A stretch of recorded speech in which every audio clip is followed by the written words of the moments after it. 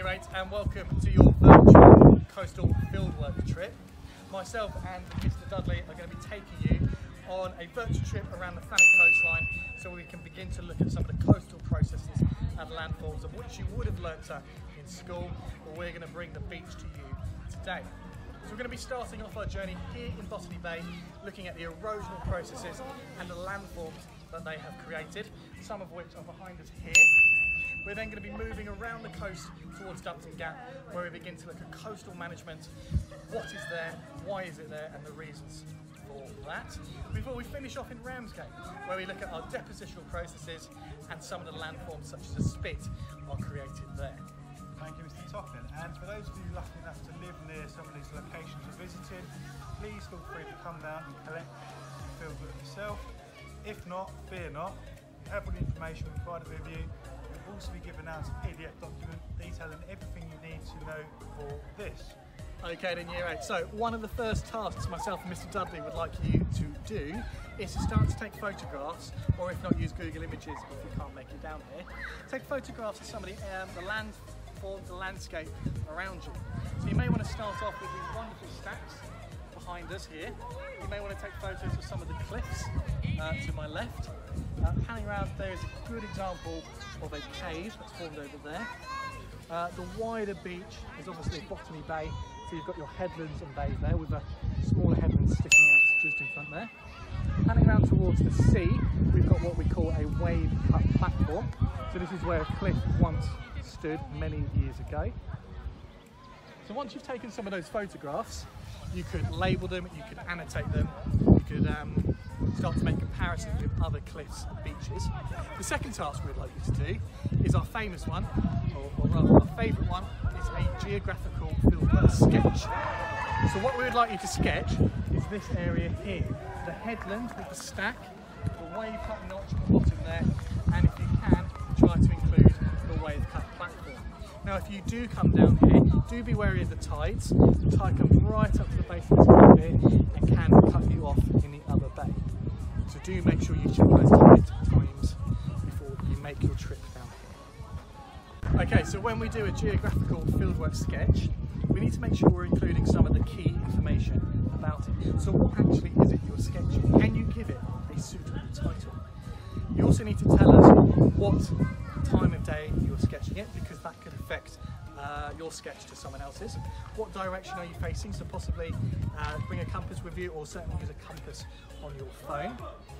Um, what's the weather like as well? Is it, is it sunny? Is it cloudy? Is it foggy? Is it raining? All of those aspects could affect your sketch.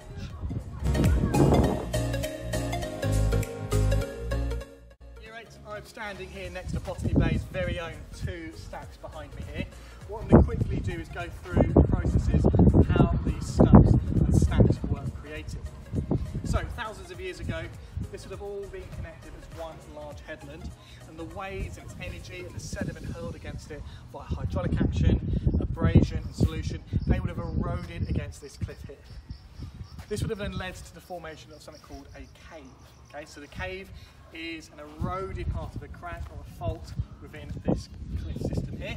We've got a good example of the small one over here, and then just behind me, we have quite a large cave where the roof has started to collapse over here. So coming back to these stacks here, so what would have happened then, over hundreds of years of erosion, this cave would have punched its way through all the way through this headland here. So you could walk like a tunnel from this bay through the arch to the other side of that bay over there. Now we're going to see a good example of an arch later on as we travel around to Dumpton. We'll stop off quickly at Kingsgate Bay, looking at the arch there by the Captain Digby.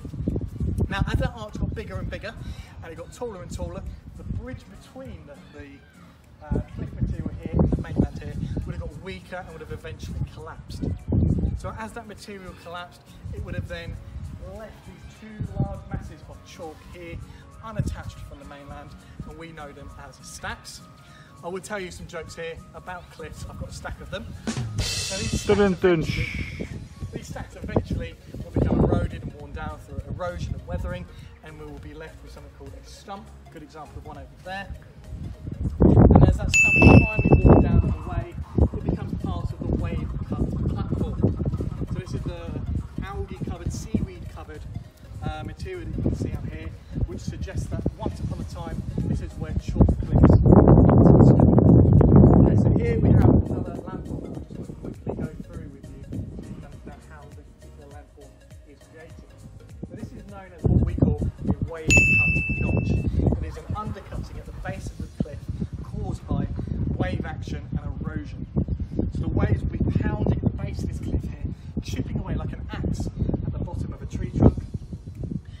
slowly remove some of this material, and it means that all of this material above will become unstable. Okay, so you imagine that slowly on all angles of this stack, the waves are pounding away at it, eroding that material, and this stack eventually is going to become unstable and might fall down. Okay, yeah, so some of you are probably wondering what is the cause of the colour change from this material here and this material down here. So we obviously have uh, a bright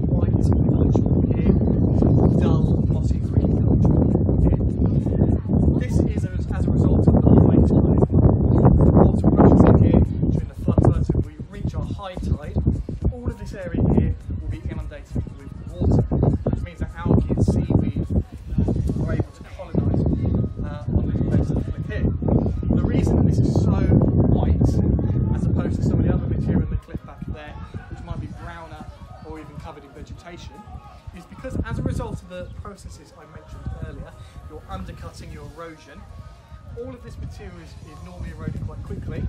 As you can see down here, we have a nice band of freshly eroded white material. But because this material above is constantly unstable, as a result of this undercutting, vegetation cannot colonise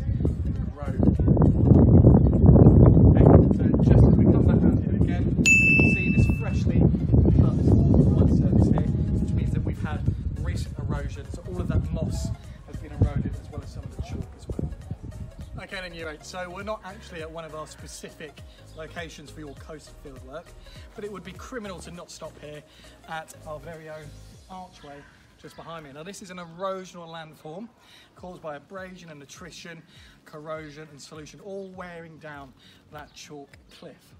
So originally, you would have started with your cave. That cave would have gone all the way through your headland and formed our very own arch. Eventually that arch will become very narrow at the top and collapse and you'll be left with a stack. Uh, and then once that stack has been eroded and it's worn down to a lower level, you're then left with your stump. Welcome then year eight to location two of your coasts fieldwork. We've arrived here at Dumpton Gap where we're going to be starting to look at the coastal management strategies put in place to protect some of the properties behind Mr Dudley.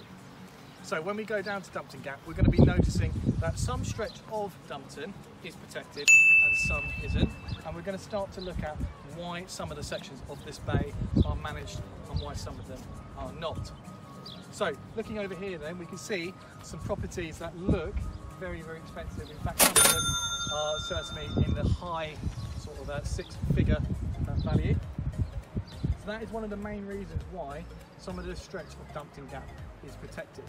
Now, just beyond uh, my right hand shoulder over here, where you can see down the section of the cliff that is unmanaged, this is because some of the land behind it isn't that high in value. Okay, so when councils and governments make decisions of what sections of coast to manage, they do something called a cost benefit analysis or CBA. This is where they weigh up the costs of the process of managing that coastline and the benefits of managing that. If the costs outweigh the benefits, then that management strategy will not go ahead. If the benefits outweigh the costs, so it is cost effective, then they will go ahead and they will manage that stretch of coastline. Now you can look at two different types of management. You have hard and soft engineering.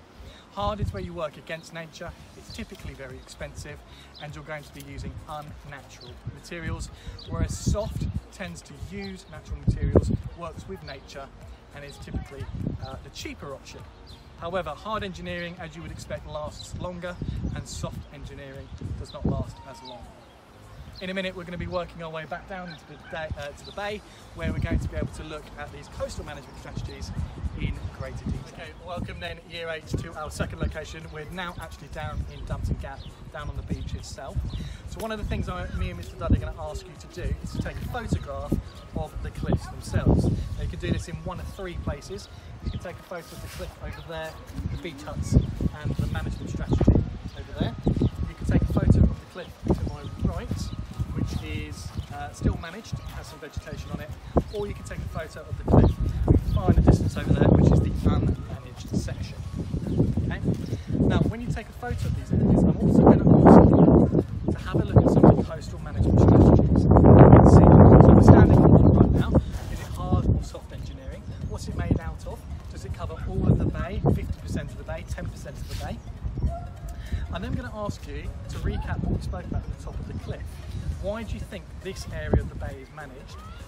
think the area behind Mr Dudley is unmanaged? Okay, so think about what I mentioned about the, the value of properties and land on the top of the cliff. Okay, so one of the things myself and Mr Dudley wanted to do is to compare and contrast the two different types of cliff and get them done together. So over onto my right hand side, we have the unmanaged section. So I'd like you to start to look at factors like percentage of face uh, of the cliff covered by vegetation. What sort of beach material do you have in front of it? Uh, is there evidence of a beach and is there any evidence of a wave platform? Okay, so to the left hand side,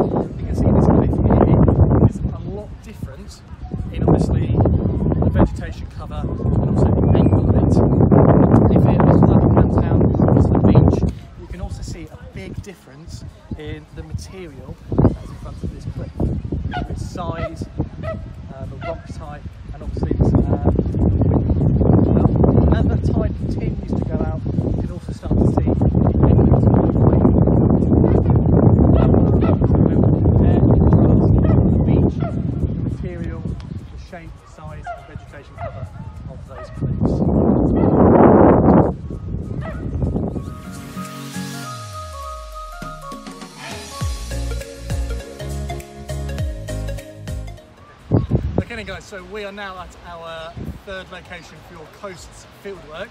We are at Ramsgate East Cliff, uh, just above Ramsgate Main Sands down here. Now, just behind me is Ramsgate's own spit. Now this is a landform caused by depositional processes. So where sediment coming from uh, the direction over my right hand side is bringing material over and is depositing it just over there behind me. So one of the data collection methods that we're going to be doing today is a field sketch. So we're going to hand you a photo of the landform behind me and we're going to pretend that you're here so you can do all of the necessary labelling and annotations for me. Okay, so some of the other things we're going to be asking you to do as well is you're going to be given an OS map just like this and we're going to ask you to label onto this map where you think the spit is.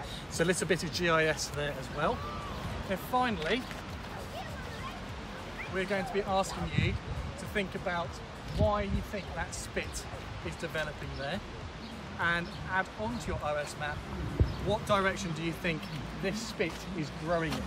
Now we can't see too great detail due to the tide coming in, but if you look just beyond the red and white pole there, that is the base of the spit. And the spit is growing in this direction over here towards Ramsgate main sands.